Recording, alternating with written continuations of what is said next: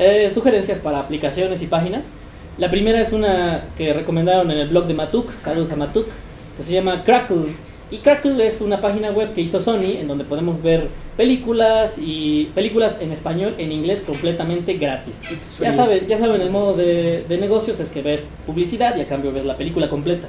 Entonces está bien y la noticia es que ya hay aplicación web para móviles. Y, y aplicación web y para móviles.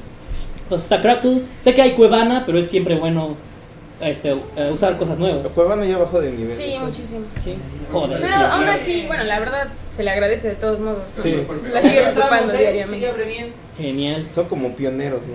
Sí, o sea, es, es, es muy bueno. Y Sony pues, es el dueño de todos los derechos, entonces está, está chido.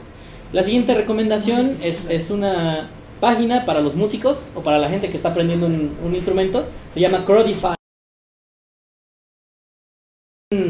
De, digamos que escritor de partituras. Uno sube el, el video de YouTube, de YouTube perdón, o sube la, la- el archivo MP3 de la canción y le entregan las partituras de los instrumentos, en este caso la guitarra o, ¿El o el instrumento bajo.